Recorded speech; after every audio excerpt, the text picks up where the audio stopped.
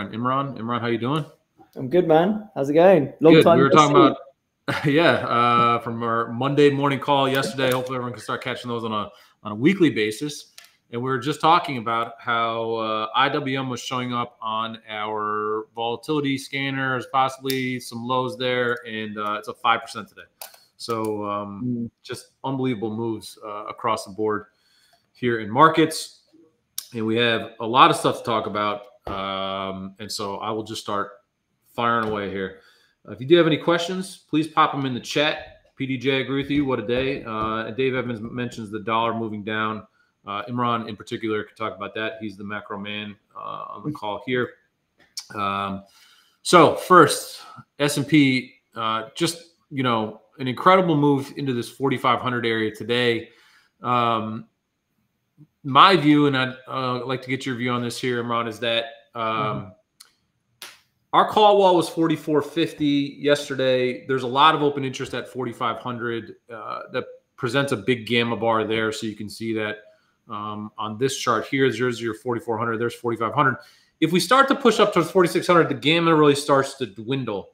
And so what I was, my setup was that, and I still think this is the case. Uh, we've got an augmented a little bit. Is that VIX was going to mark mark a market high, and and just to sort of back this up. The the VIX expiration was tomorrow. If you look at our founders note here, we we dedicate this. Uh, you know, this this suggests that tomorrow morning is is going to be a short term high. I thought we'd consolidate into the 4300s and then we would have a year end rally into the 4450 to 4500 area. And that's because if you look at where the big open interest is year end, you know, the last kind of strike, the lot of open interest is 4450. You got the you know, JP Morgan collar call that everyone likes to talk about is in the 4500s uh, area there. And so, you know, that was my setup. A little bit of weakness here, triggered by VIX. I still think that happens. Uh, but I thought we'd tag in the 4300s and then give a final year in rally. We're at 44, we're at 4,500 now unexpectedly. I still think we're going to sell off tomorrow after VIX expiration. Uh, but we're just 1% from what I thought was going to be a, a material market high. Um, my opening question sort of to you, I guess, is, is, you know, what are you looking at in the markets now that we've have we pulled forward returns? Is this just you know a new base for us to launch the year in rally? Kind of what do you did, did today change your mind? So I I would say that until this move that we just had, it looked like options markets were having quite a lot of influence, right, in mm-hmm. terms of holding the market, not really letting it get too far away from 4400. And we we you know we knew the market was trading long gamma um, from the price action in implied vol all of last week, and we know that where where the big open interests are. So so it you could tell the street owned it, but with that CPI number coming coming worse than expected or coming lower than expected, not worse, that's kind of a good thing. Um, the reaction that we've seen just shows you that actually it's not the options can't hold it. So there's there's quite a lot of buying flow that was coming anyway in November. It was like corporate buybacks were restarting, CTAs were recovering, going from short to long, and you got general mutual fund inflows that happened in November. All of these things were supportive to the market anyway. And the idea was, okay, fine, they're, they're ongoing buyers, and if the market goes up, there'll be sellers in the form of the the dealers that are hedging their gamma. But I think that's just got blown through. So I, I just think that the gamma wasn't big enough to hold these buying flows. And then you also had an incremental buying flow that came from the fact that the inflation data has now priced rate cuts sooner than expected. So you had a massive move in SOFR futures, like 20 bips across the curve from sort of late late part of late part of next year onwards. And the, the dollar's got battered on the back of it as well. So is you know, all these factors, these macro factors seem to be overriding the fact that the options market is long. So I don't up here. I still think the option market is probably long, right? But yeah. it's just if you're long gamma, you've actually done quite well today, right? Yeah, and, and, and so maybe the way to frame this is that you know you you have an equilibrium in equities that's based on you know let's just call it rates, and and so when rates drop, the equilibrium for equities I guess should shift higher, right? Is, is maybe a kind of a more naive way to look at that. Um, but uh, you know the the performance of a lot of these stocks in the year and i want to show this uh, we did an opex effect podcast yesterday and there's a lot of interesting slides that i wanted to use here but this was from one of our new new tools. This is a, a, a, fixed strike vol matrix, and what I thought was interesting. This is from yesterday. This is pre CPI.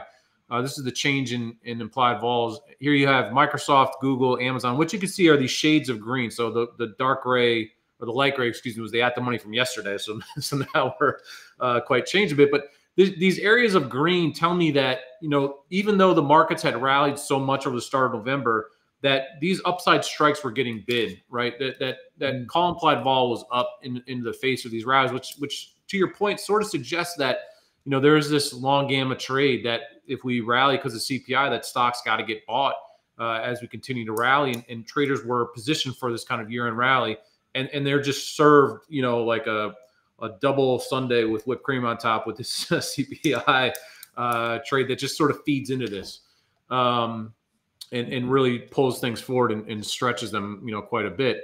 Um, so, you know, uh, it, it's hard to disagree with with uh, with what your views are there. Um, I wanted to so, so we, we have now this big market rally, and I, I, think everybody and their brother is now favoring you know Santa Claus rally at this point. And um, you know, again, I had mentioned that my upside zone was 4,500 to 4,550. You know, we're we're certainly you have to argue at, at risk, obviously, of of going through that level based on today's move. But the the chart that I put together this morning that I thought was rather interesting, um, and and I'd love to get your view of these dynamics. The black lines here are VIX expirations, and so. Mm-hmm with the exception of May, at, at, every single VIX expiration after the, the market at some point has gone lower. This is the S&P, right? And, and it's not always that it goes, look, 10% lower, but there's this moment of consolidation. Sometimes that consolidation has been a little more meaningful, as you can see. But every single VIX expiration for the last, let's just call it six in a row, I believe it is, uh, we've seen equity market retracement. And I think that's a, a real setup here now because we have not only the VIX expiration, the VIX has gone from 20 to 10, uh, excuse me, 20 to 14 over you know this this time period here. We now single stock call values are really really large. They're really really stretched, uh, and that's going to hit with November OPEX on Friday. And so I think the market is ripe for some consolidation here. Um, what what's your view on on sort of a VIX inspired or volatility or OPEX inspired you know retracement here? Do you think that's on the table? Um, and if you want to give some of your views on on why VIX expiration can lead to uh, some equity market shifts in the equity market, uh, I'd love your opinion on on both of those factors. Yeah. So so historically, I agree that you have seen a bit of a rally in the market and a sell off in in VIX into expiration, and, and that has often marked a low in vol. Now, I would say a lot of those expiries that you've drawn on the chart in into those VIX expirations, there was a lot of call open interest that was expiring, right? Because there was a lot of call demand on VIX. That was the way people were hedging. They weren't really hedging using S&P downside. They were hedging using upside on the VIX. And, and that and the kind of decay of those calls was leading to a compression of VIX into expiry. And then once that had kind of gone, you had like new buying of VIX and stuff and, and a bid to VIX translates into a sell of S&P. So then you got weakness on the S&P. And then also you had macro reasons for the weakness, the weakness being ignored into expiry. And then you had a catch up in, in the S&P once the, once the OPEX had gone away. So now this time around uh, is a weird one because I was thinking, I was thinking we were going to kind of pause, not really manage to rally so much this week because of the gamma. And then once that was gone, the year end rally would kick into gear. Now, as that was completely wrong. So what's turned out is the rally's kicked in early because the data has given it an excuse to, and you've just got all the buying flow that's overwhelmed the gamma, and the gamma hasn't been able to hold it. Now, I agree things are a bit overbought. I mean, you look at Nvidia. Apparently, like the the five day RSI on Nvidia is at like some stupid level, like in the 90s. Right? I don't look at five day RSIs, but I just noticed that someone put that on Twitter. But it's like you know, some of these names are crazy overbought, but Nvidia earnings is next week. Right. So I don't know how the market reacts to that. Um, but I, I, I, ultimately I think any dip in the market is going to get bought with two hands. So I, I, you know, if you get a dip to 4,400 again between now and middle of next week, I, I think it is going to get bought. So, so it's kind of like a moot point whether we correct or not. I just yeah. think, I think we're ending the year higher. I think we're probably ending the year above 4,600.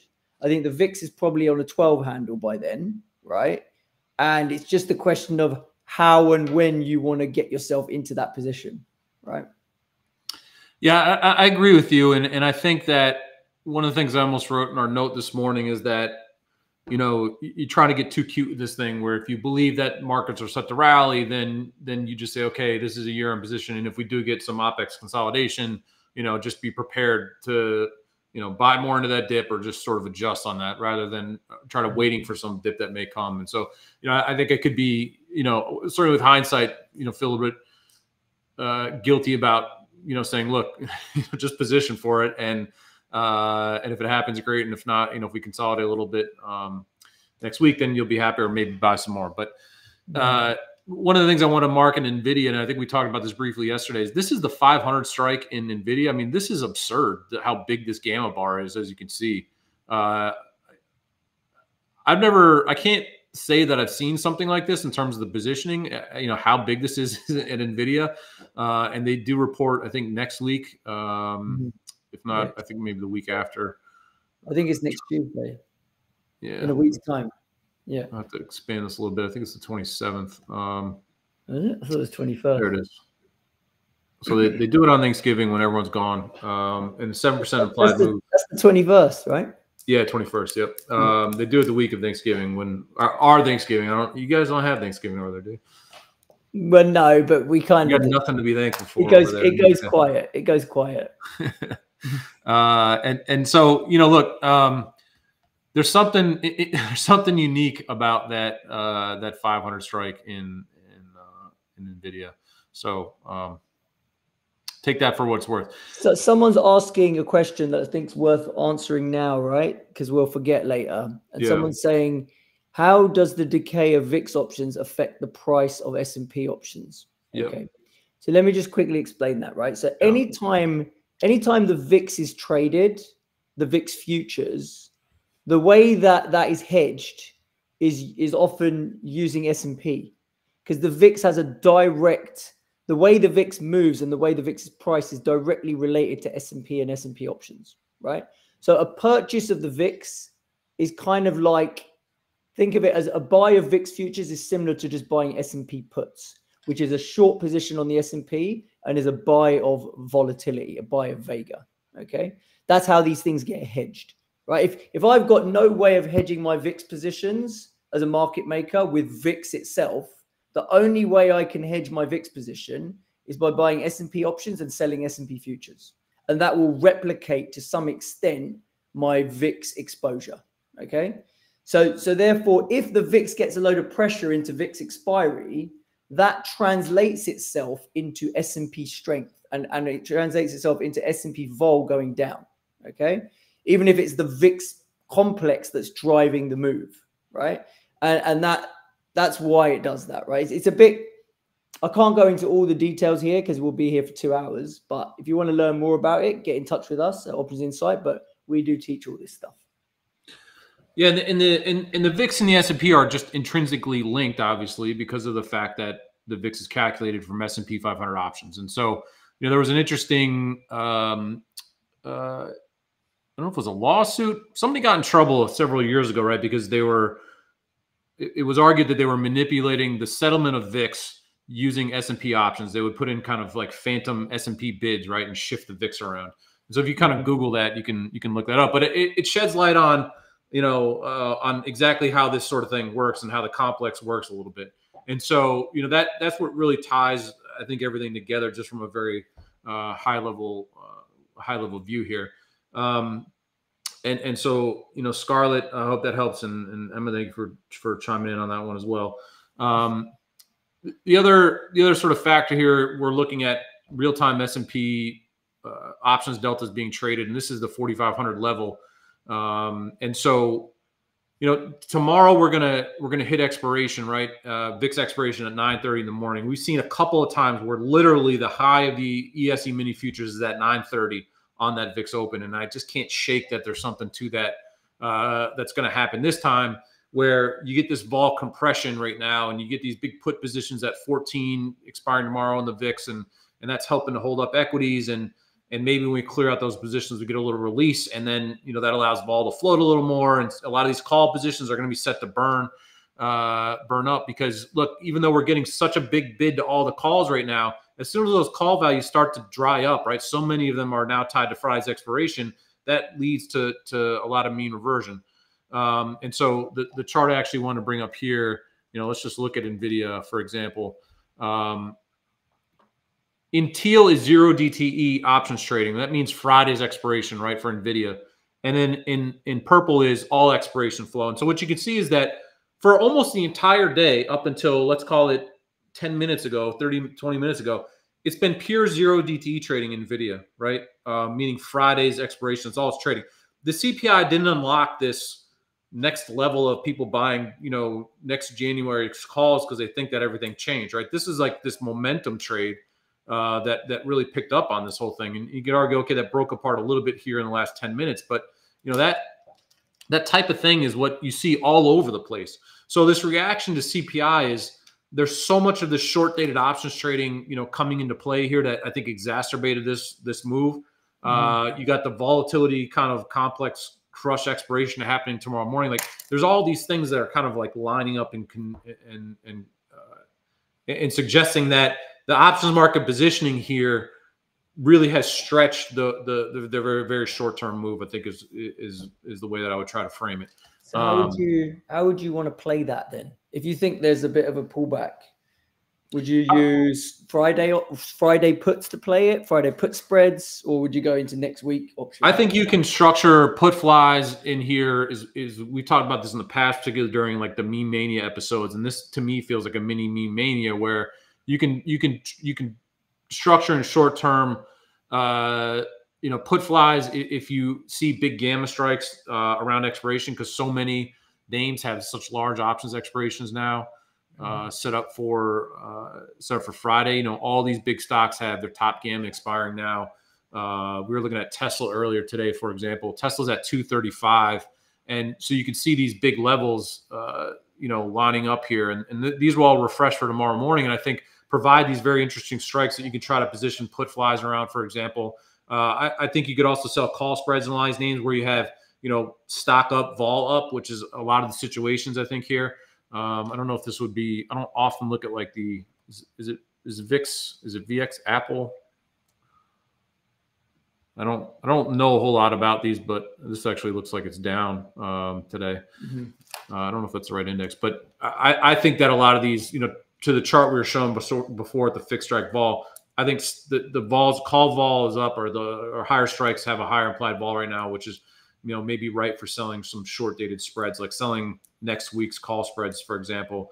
Uh, and a lot of these names that are up three, four, five percent, betting that this equity market you know consolidates just a little bit, and that sets up you know an opportunity for year end rally. It's also arguably a very interesting time for maybe some calendar spreads where you're selling you know this this week's calls and then getting longer you know December options expiration calls. Uh, you know, I think that that is also kind of an interesting uh, setup here too.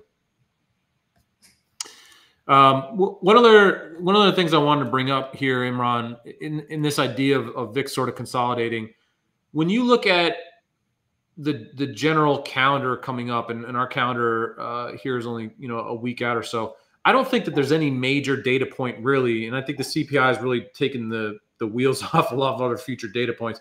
I don't think that there's any real major events now until uh, 12 13, which is FOMC. You got Thanksgiving next week, so next week everyone's going to be asleep at the wheel. That puts us basically into you know late you know late November, and then you got really two weeks until options expiration and FOMC. FOMC on the 13th, and um, and OPEX is on the 15th. So you know you mentioned before that you could see VIX really sliding down to 12. And to your point about how that links to equity market uh, and, and, kind of the Vanna trade writ large, if we don't have any real events here, um, you know, vol can, can just continue to drift down over the next two weeks, accelerated by, you know, the Thanksgiving holiday and that kind of thing. And, and that's a real tailwind for these next two weeks as well, don't you think? Hundred percent, and you've also got that big J.P. Morgan strike that's providing a load of long as well, right? So well, there's going to be some shorts coming against that, but in general, that is the that is the way round the street is. So yeah, we're up here at 45. That's that's roughly where that strike was, right? The 4500 area, and that's going to provide long gamma to end of December. So if the street is going to have a load of long gamma, yes, we got a big move today on a data point, but we could easily go sleepy, realize go sub 10, and that's going to drag that's going to drag the VIX down. And, and, one interesting thing that you know came up a lot earlier this year, and, and I am also curious your you know your thought on this is that you know the big story over the summer was the breakdown in in in correlation, I guess, and and we had this AI rally, right? That any name associated with AI just went moon, right? And and everyone's pointing, oh, this correlation is making all these unique and interesting changes, and um, and it was this AI narrative, right? We're gonna rates don't matter for the AI stocks because they're you know different echelon. Um, now that rates have come down so sharply, at least in the short term, you can make and you could argue that hey, now Russell stocks have a better chance, or a lot of the crap you know that couldn't catch a bid uh, for for this year at least has this window now where well that story may be falling apart, right? So some of these names that could could arguably start to play catch up, like the IWMs. Um, does does that change the way that correlation could behave here? In other words, you could make an argument that you wanted to own Mag Seven. That was the only thing you could own before to play, you know, another rally here over the next couple of weeks. Mm-hmm. Does your view change on that with rates coming down and, and maybe rates not being this element that would lean on certain stocks and certain sectors in the same way? Or, or do you still want to just stay long Mag 7 as a way to express upside?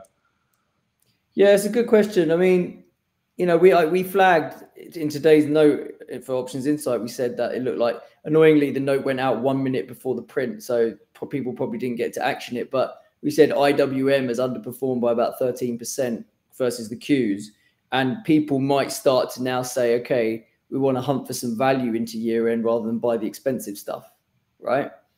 Um, are you still there? Yeah. Okay, you got hidden on the screen. but, but uh, so yeah, it's one of those. It, it, it, may well be that as rates vol, and we've had a decent amount of rates vol, but kind of if rates vol comes down a bit, then it may lend itself to a more correlated market and therefore, if we get a year-end rally, we get a bit of a broad-based year-end rally because people just put money to work, and they instead of need instead of feeling the need to rotate from one one part of the market into another, you might just get broad-based kind of passive inflows that just come into everything, right? So I don't know. You probably need rates vol to calm down, um, and it's got some room still to come down. But if it does, then uh, then yeah, I think you could get a more correlated rally. Yeah, it's it, it, it's uh, it, it's really an interesting thought dynamic now, as you mentioned, with the J.P. Morgan collar and, and these big positions in the S and P. Uh, you know, I, I don't have a reason to adjust my target on the S and P. This, you know, let's call it forty five fifty now. Just give myself a little bit of grace on an upside strike. I think the J.P. Morgan collar is at forty five, you know, ten. Um, and you know, I'll feel a lot better about that if we get kind of consolidation here. Technically, asked about 4460, which is the spider call wall from yesterday. Um, you know, that that's got to be seen as like a support area, I think, at the, at the at this time. So, like, do we pull back over the couple areas down to 4500? Then we have you know a final rally in the year end. Uh, but I think you know the S and P could get sort of jammed up into that into that neighborhood still. And so, you know, I would rather own IWMs, Mag Sevens, and some of these other names as a way to. Uh, mm-hmm you know, kind of outperform um, yeah, that, that's true. That's true. it may be that that supply, that supply of S and P vol, just kind of keeps the S and P a little bit more anchored, and then the other stuff around it can kind of move, right? I mean, I'm interested to know if the energy sector is going to bounce. I mean, look, this is just this is crazy. Sorry to interrupt you, but look at this. This is uh, Microsoft, and uh, I mean, it's just you know, it's it's amazing. Um, yeah. So uh, how far back is that chart gone? Well, that, that, goes back to 1987, and all you got to do the log scale and all that other stuff. But it's it's just uh, I mean it's just it's remarkable, right? Um, on the, on the idea of we, we have a couple of questions on the Bank of Japan. I don't know if you have any expertise in there. The dollar's obviously moving down, so a couple of people have commented on here, and you also mentioned oil. So if you want to wax politically in a couple of those uh, so what's uh, kind the of macro indicators. What's the question on Bank of Japan? Uh, there's a little bit of back and forth here about uh, BOJ as a possible intervention. Was that discussed already? Um, yeah, no, that wasn't discussed. Yeah, I mean, they, they there have been some spikes lower in in um, in dollar yen recently, like I think yesterday or the day before. But now, I mean, it's a broad based dollar move as well, right? So the dollar got whacked. So that kind of helped dollar yen come down as well. Obviously, dollar yen's not down as much as euros up, cables up, Aussie dollar. They're all up like nearly two percent, whereas dollar yen's only down, you know, half that. So I don't. That, that, that's not an intervention. I don't think that's an intervention move. Like when it gets up at 152, it looks like they don't like it, and maybe they. I don't know if they've actually intervened or it's just their words are strong enough. But some of the price action looks a bit fishy, like they might have intervened up at 152. But today's move is is more of a broad dollar move, I'd say. Hmm. Uh, thank you for some insights there. I have literally nothing to offer on that subject, so we'll move on a little bit. Uh, David Evans asked here about uh, if you want to structure some weakness, I, I, you know, when I've seen the weakness, I see it literally happen like at 9:30 on VIX expiration day. So I don't know that I would necessarily, you know, depending on how you want to put your position on. I mean, we're so stretched today, right? Um, should there be a reason for for the equity market to give any kind of weakness today? Uh, maybe not. I'm not confident about what will happen overnight. Um, but you know, I think whether you put a put spread on today or sell some call spreads, I might be more inclined to sell call spreads here. I think, um, and then look to buy maybe a put or some put spreads uh, tomorrow. You know, as the market opens. Uh, but again, you know, I think it. My concern is that that's being too cute, right? If you think there's going to be some consolidation here, then um, maybe sell some calls and buy some puts uh, in the S and P for that. Again, I think it's short term consolidation. Uh, I do particularly, as a lot of people are talking about NVIDIA and the like. And with NVIDIA, it's challenging because of earnings are, are, next week. So I don't know that I want to do, trade any calendar spreads there. Uh, mm-hmm. Uh, but there's plenty of other names, you know, Microsoft, Apple, et cetera, that are up a lot where you have to worry about earnings. And I think the the calendar spreads, you know, selling something like very short dated calls here to buy the November, uh, December's, I think can be uh, really quite interesting because the idea is that implied vol is up in those names, you know, stock up, vol up and I think those are interesting times to sell some of these uh, uh, call up uh, call spreads. Um, yeah, Lauren asked about a whole VIX complex. Uh, we don't have a uh, we don't have a ticker that monitors the whole VIX call spread. Um, you know the the the other interesting dynamic I think to play the the equity market rally here I think because there's the opportunity for a pretty significant rally, this trade is maybe not as interesting. Uh, but obviously, shorting these VIX call uh, these you know the VIX complex for at large has been it's always does very well.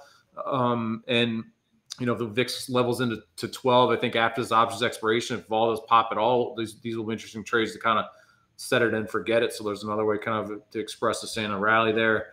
Um, that's for Lauren. Douglas asked about ARK, and I haven't looked at an ARK chart. Have you seen ARK yet, Imran? I mean, I think it's exploded higher today. Don't cheat. What do you think it's up? Yeah, I mean, it, it has been. It's been doing okay, right? It had. It had not as much as I thought, actually. Five no, percent. No, no, but it had off the low. I mean, it was brutal, right? It went from thirty-five to forty in a heartbeat. Uh, yeah. So it's been consolidating a bit. Um, I mean, it, it's one of those. If we get a year-end rally, yeah, it could push could push back up to 45. Um, that's that's quite a big. That's like the shoulder. I don't really look at head and shoulders normally, but it does look like a clear shoulder area. Um, yeah. So um, I don't have a strong opinion on ARK. I mean, it's got a bit of crypto correlation to it as well, and I'm, I'm net net still still at the margin bullish on crypto. So I guess that probably makes me a, a bit bullish on ARK. And if you think rates have topped I mean, I, I, was looking for bonds to have a bit more of a meaningful rally than the, than than the last few times we had dead cat bounces. So if you think the bond rally's got some legs, it looks like rates have topped. We've got some inflation data now to support that view. We've got crypto rallying as well. All those things in general are pretty supportive for ARK. Um, yeah, I, uh, hard. It's, it's hard to disagree with you on that one. I think ARK fifty. Uh, you know, seems like maybe got a little bit of room to run there on ARK 50. I, one of the interesting things is that, which just kind of crossed my mind, is is uh, I think we made a meme like joking about this before, where you know everybody was in these money market funds and everybody's loving, you know, five percent uh, risk free, and that seems very sexy until IWMs are up five percent in a day, right? And so, you know, do we also have the situation where suddenly everyone goes like, "Oh, this five percent isn't so great anymore." You know, let me get my year-end rally, and there's this sort of catch-up rush. I mean, um, it depends what sort of investor you are, right? Like clearly, there's there's more volatility. Well, everybody only trades zero DTEs, Imran. I don't know if you've uh, taken the temperature yeah, yeah. of the room anymore.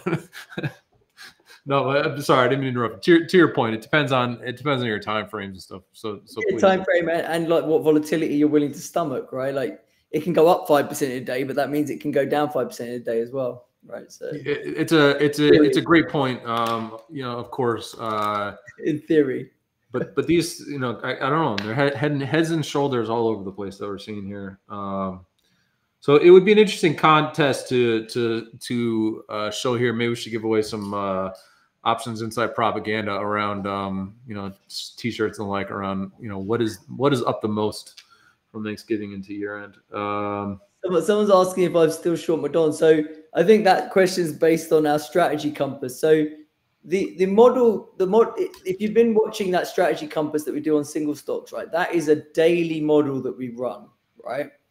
And the idea is to identify things that look stretched either from a vol or spot or both perspective and to just give you what the the the simplest possible one-legged trade would be to express that view, right?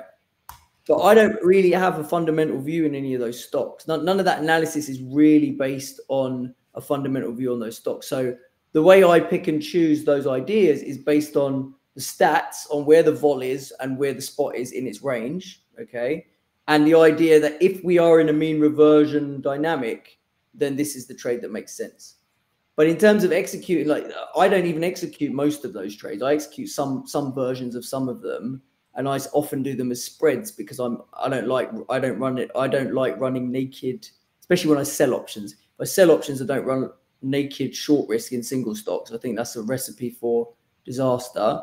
And then on the long side, I need to have a pretty high conviction about owning a single stock trade I've got to have a view on that, right? So for me, this is to help guide you guys to see what stuff is stretched. And then if that lines up with your fundamental view on the stock or your short-term tactical view on the stock, and you, you you're looking at some technicals as well, and, and it lines up, then then it makes sense, right? But I, I don't I don't sit with these views for long periods of time. They're more just to try and identify tactical opportunities that might work over the course of a few days to a week and then you would actually monetize and unwind them or you would cut them if they didn't work right that's that's how you should think about single stock ideas yeah and, and you know I, I, agree with you i think that's one of the interesting things, things about the the options landscape is that uh, you, you, show up when when vols are are, are skewed or or shifted in in unique ways uh, and you don't take a lot of fundamental um, positions necessarily. You know, we, we don't trade the options always based on the fundamentals. Um, but you know, if you're going to get a collapse in interest rates and a, a, broad market rally where all stocks are up five percent, well, it's going to be odds on that whatever put position you have on is probably losing money, right? Um, you know, this is this is when the macro just sort of washes over uh, whatever kind of single stock positions you may have. Um, and and and it is up pretty nicely interesting from you know rate rate in this October OPEX timeframe. This this really seemed to rally uh, uh, pretty strongly. Um, so to to that point there, um, David asks again, how does the VIX expiry occur at the market open?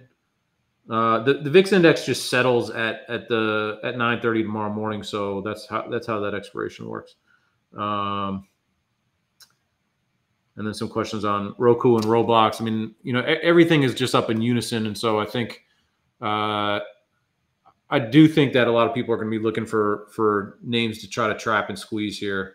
Uh, this seems like a nice moment for Wall Street bets to sort of reemerge and, and try to give someone a last final rally. Help fuel, help fuel the end of year rally. Yeah. Um, one one topic that's come up for me a couple times recently. Uh, we talked about this yesterday in this new podcast we started doing called the OPEX Effect. Um, this is the and I and I'd love to get your kind of opinion on this, obviously. And this this was from yesterday, pre CPI, which is a whole different event. Uh, markets are a whole whole different animal now.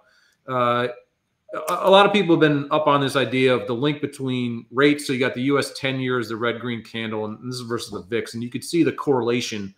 And you know, we we've made jokes recently about how uh, you know everybody this year has been a, a rate trader, you know, uh, in disguise, right? Because your view on equities had to be so tied to rates, and everyone's watching CPIs, and now we're watching Treasury auctions and all these other kinds of things. And so, what was interesting is that with the bad jobs report at the end of October and then Powell came out and kind of took a nothing done on the FOMC. Uh, th- this is the 10 year again, but rates in general have have come off their highs and they've held, and now they're down a lot, right? And so equity vol has has seemingly broken its link from the rates trade. And I think as long as rates stay at or below where they are, then equity vol is not not really going to pay attention anymore. Obviously, if, if 10 year goes back to 5% or whatever, then okay, great, equity vol is going to come in.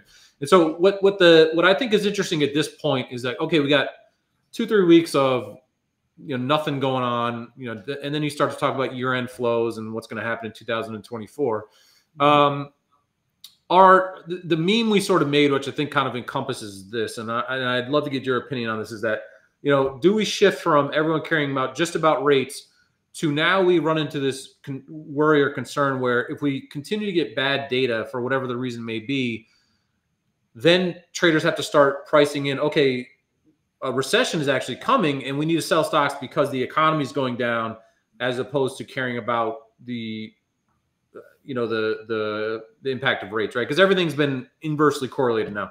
Bad data means market goes up.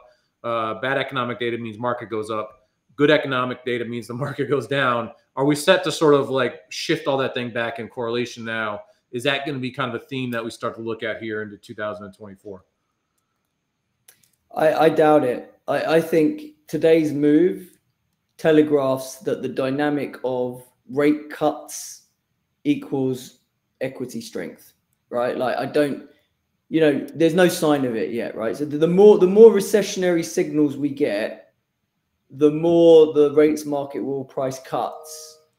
The sooner the cuts will be priced into the curve, and the more the equity market will be good will be good with it, basically, right? I, I genuinely don't see how that's changed. Like today, today kind of clearly shows that dynamic, right? But is the but I, I believe, and, and if anyone has a, a link to this chart and link to this data, I believe that the equity market tends to sell off at the first cut. I believe is is what the data historically has uh, suggested. That, that, yeah, but I'm talking about cuts being priced, not cuts being delivered, right? So I'm saying as as long as cuts are priced into the rates curve, I think the equity market will like that, right? Now, what actually happens when they actually cut, I don't know. Because often what happens is they only actually they say no, no, no, no, no to the rates market saying yes, yes, yes for cuts.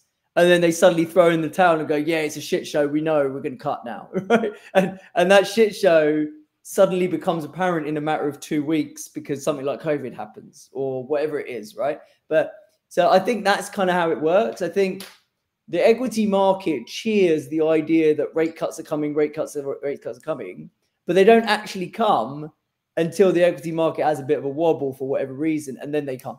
If you see what I mean?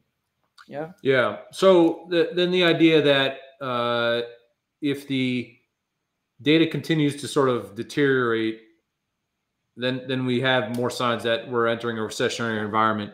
That in and of itself is not going to be not, not necessarily going to matter for stocks. If anything, you still think that will be a, a supportive of stocks, I guess.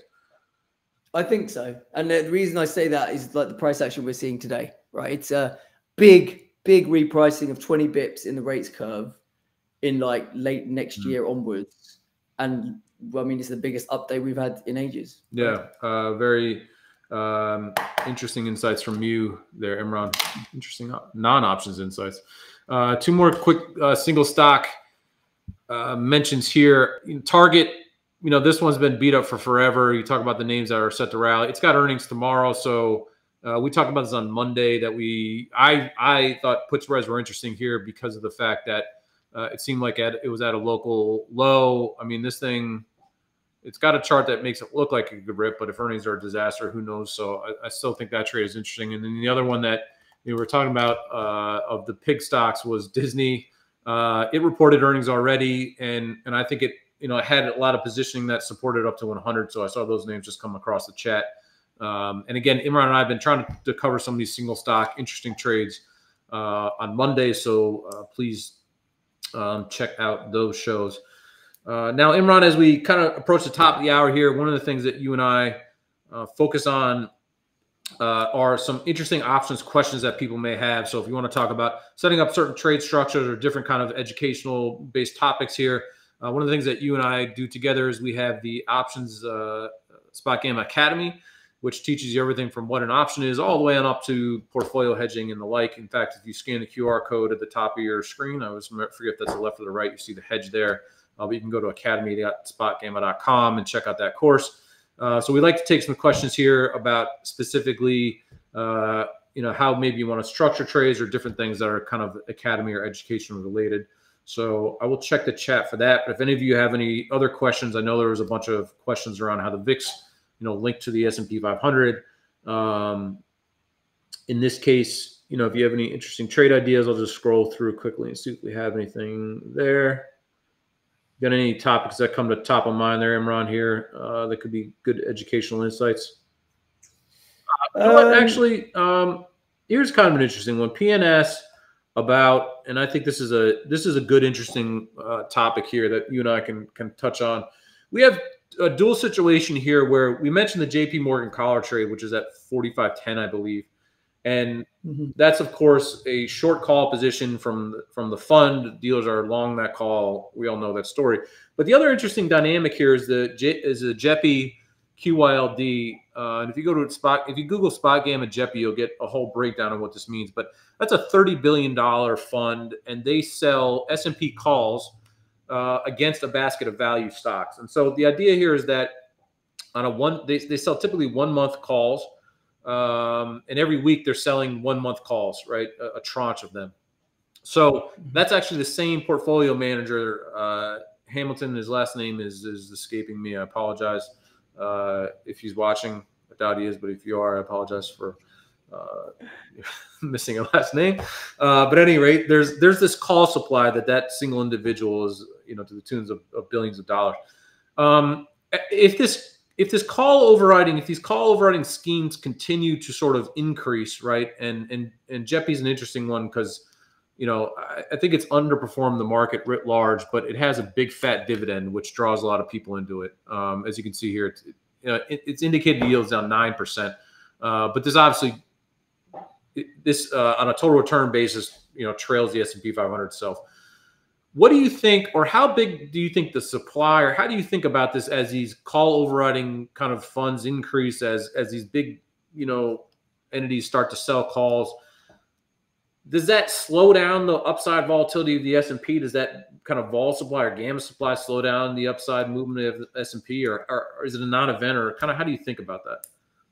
No, I think it definitely has an impact, right? Because there's just that that trade has so many forms you know, whether it's naked call selling, not naked, but call selling against longs, whether it's uh, short dated variance selling, there, there is constant supply of gamma hitting the street, right? And that does have an impact. That's why that's why implied correlation trades on the 20 handle now, right? Because you've had this world where there's loads of natural supply of index vol, but there isn't as much supply of single stock vol. Mm. And you, you know, people actually want to buy single stock options because they want to play play the stories and they want to own tech stocks or own tech exposure and stuff like that. So I think it has a huge impact.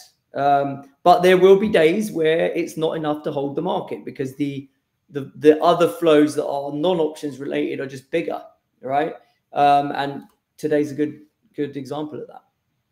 Yeah, and and um, what's interesting about the way that this fund in particular works is that they they like to sell the index calls because they're cash settled and they own you know stocks that they're outperforming and, they don't overwrite dollar for dollar but the idea is that they, they don't want to give up their holdings right? So that's why they don't overwrite you know if they own cat for example they don't sell cat call because they don't want to have their stock you know called away. They, they want to own those positions. And and i think that the more these funds grow you know it, it could impact correlation i think is is one of the more interesting ways where you know look you got this this supply of calls overhead that should be maybe making things sticky as we move up in the S&P.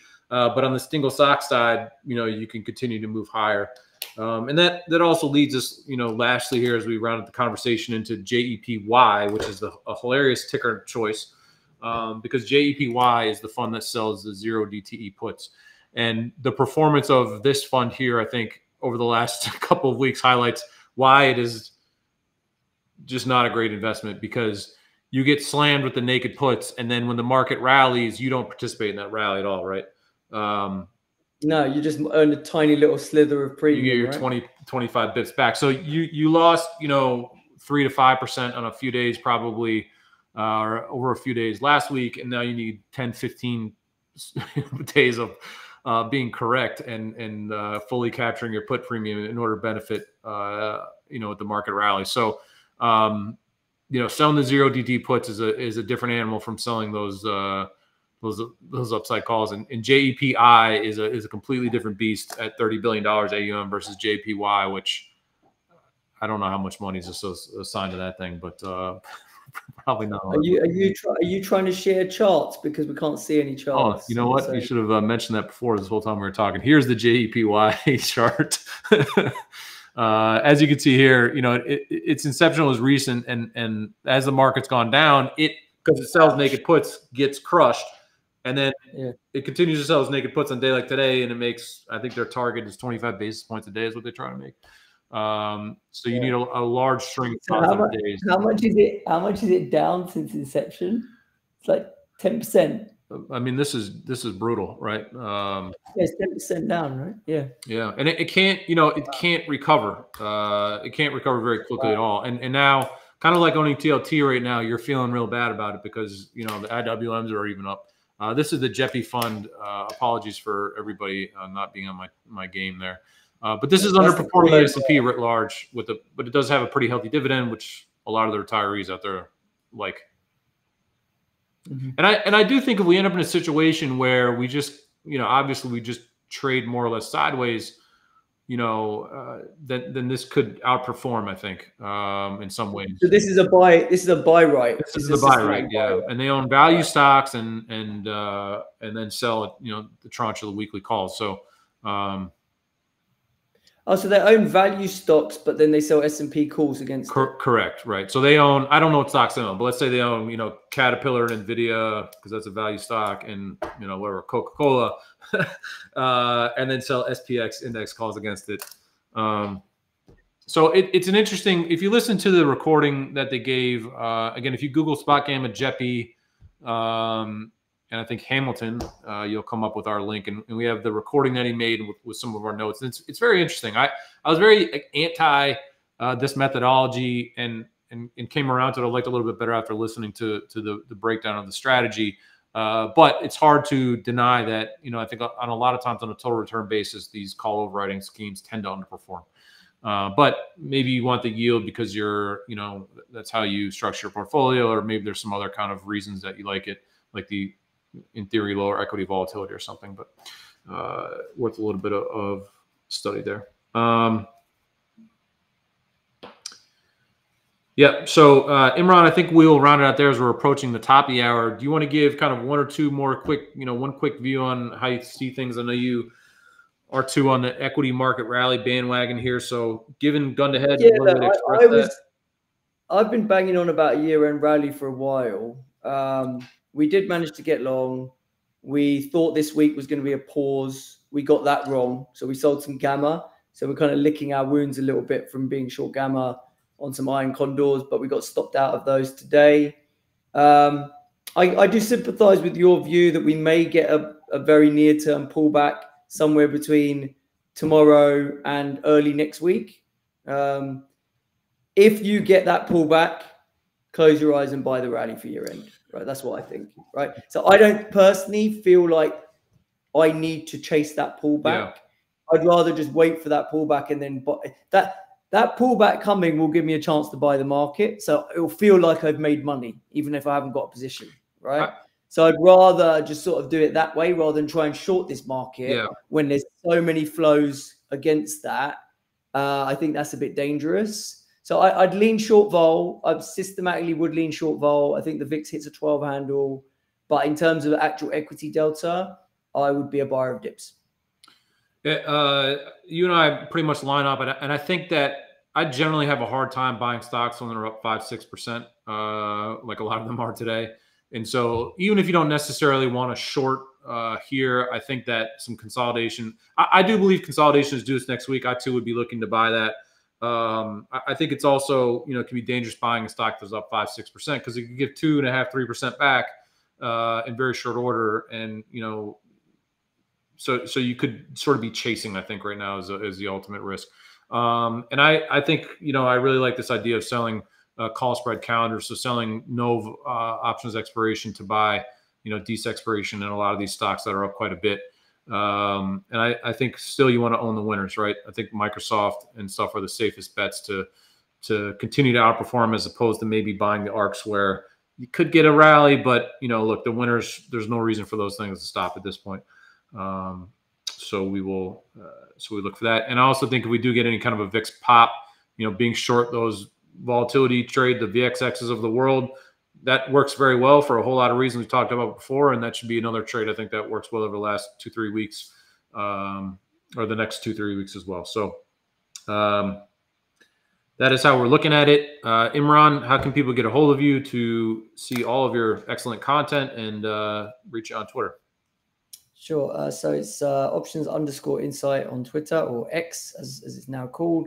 And um, options hyphen insight.com is our website where you can delve deeper into all the stuff we produce. We've got daily research, daily macro ideas, uh, weekly macro research with my portfolio of options that I'm running. So you can see how, how I kind of structure those trades and how I think about them. And then we've got crypto weekly as well for any of you who are in the crypto space which is pretty hot right now, actually. Yeah, and and like I said before, that Coinbase, MSTR, those all showed up on our squeeze scanners, and we talked about that in yesterday's Monday call. Uh, please join us every Monday. We've been doing these Monday morning meetings, which focuses a little bit on some of our single stock ideas, uh, and so uh, we will look forward to seeing you then.